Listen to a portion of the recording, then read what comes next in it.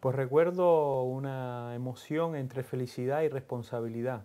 Felicidad es la que supone llegar a un teatro como el Liceo, que cuando uno es muy joven, pues es uno de esos templos sagrados de la música a los cuales sueña con llegar.